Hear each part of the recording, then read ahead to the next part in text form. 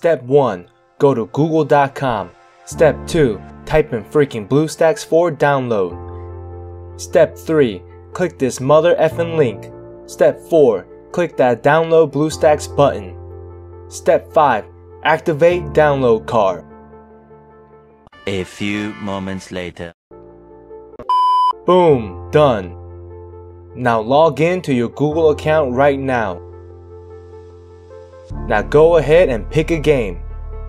Now press that install button and let that some bitch install. Once the install is done, it'll be in your home screen. Boom, done. How to change language settings.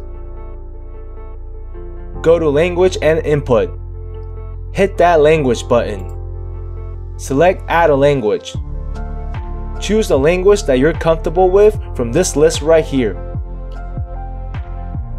Smash that language. And drag that some bitch to the top. Language changed. Like, subscribe, and leave a comment.